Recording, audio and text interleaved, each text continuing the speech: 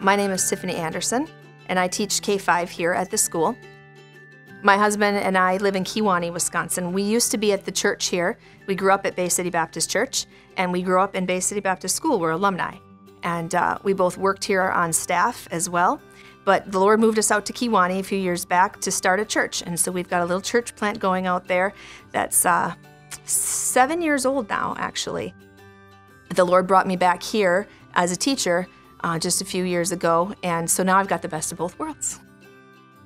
I think kindergarten here is it's like an extension of your of your parents, your family. Um, for Sherry and I, we enjoy being there for the kids.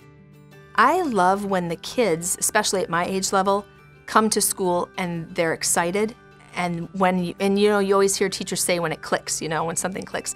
Well, in kindergarten, they don't know anything yet academically. So everything's a click. And it's that's exciting for me and and to see the ones who are nervous about leaving mom in the morning or grandma or whoever, um, to see them look forward to coming into school, that's rewarding for me as well. There's so many personalities in that room. There's they they all come in as these individual little people and and you know kindergartners are just coming from home or from daycare and they're in their own little world and they don't really see outside themselves at first and then by the end of the year, they're a unit, they're a group, a class, you know, and there's a big difference for me from the beginning to the end. And to watch all their little personalities interact with each other um, is exciting for me.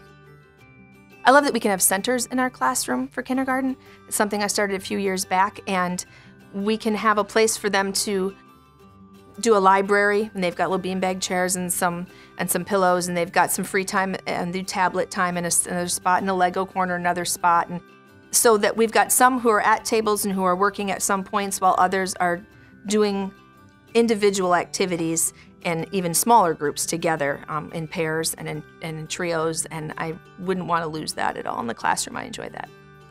I've had good life experiences here educationally, and a lot of it is because of Bay City, is because of the pastoral staff and the school staff that I had when I was here, and um, so I feel like I've con- continued that on.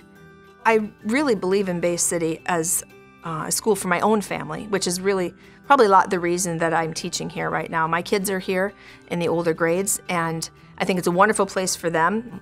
I've homeschooled now for a little while, and I've I've um, been in the public schools here and there, and this is by far, I think, the best atmosphere you could have your child in to support what you're doing at home. If what you're doing at home is to raise them to love Christ and to grow in what the scriptures say, then this is the best place you can have them.